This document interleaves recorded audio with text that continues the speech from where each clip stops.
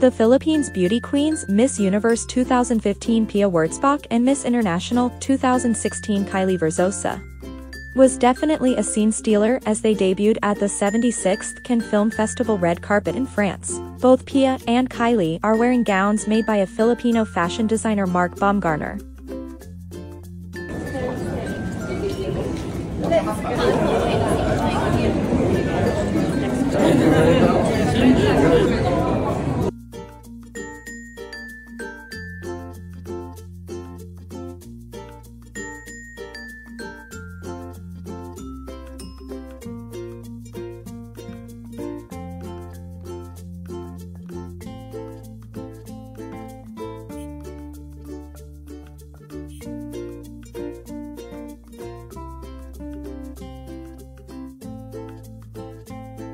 Pia follows Miss International 2016 Kylie Verzosa, who was present on the first day of the Cannes Film Festival on Tuesday, May 17.